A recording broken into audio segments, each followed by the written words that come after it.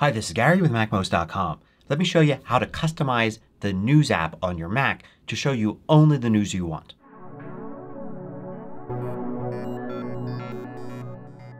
MacMost is brought to you thanks to a great group of more than a thousand supporters. Go to MacMost.com slash Patreon. There you can read more about the Patreon campaign Join us and get exclusive content and course discounts. So I think the News app on the Mac and also on the iPhone and iPad is a great way to read news articles much better than looking at individual websites in a web browser. The News app aggregates news from different sources and displays them very nicely in a format where you can read them basically ad free. But I hear some people complain they don't like the variety of news that the News app will show them.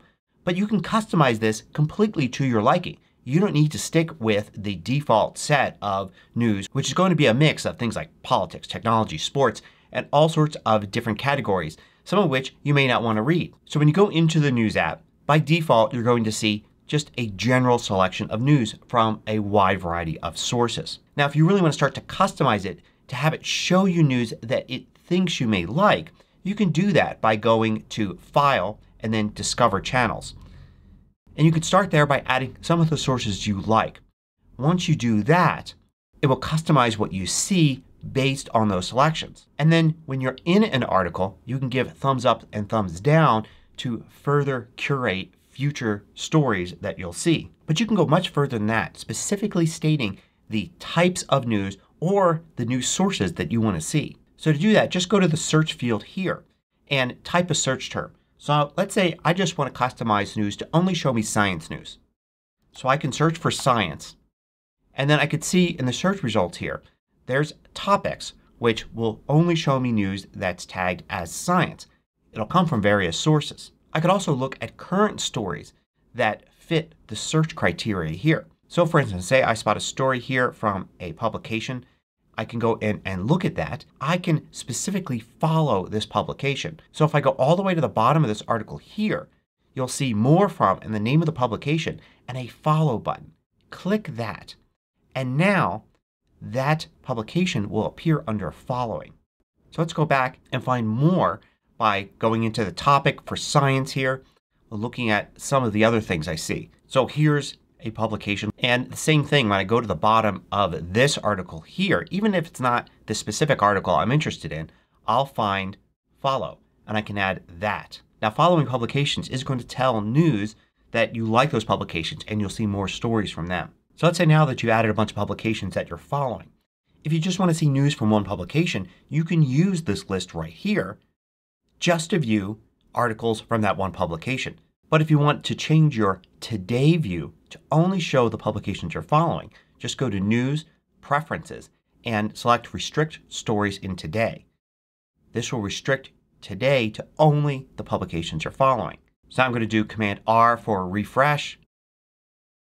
It will refresh, sometimes it takes a few tries, and only show me stories from the publications I follow. So it helps to have a lot of different ones that you're following here in order to fill this up with new material every day. In addition, you can restrict what's shown here on the left. If you don't want to see special coverage sections which change all the time, you can click here to collapse that. The suggestions, you can also collapse those as well. And even though you've restricted today to only the stories from sources you're following, you can go and search for other types of news.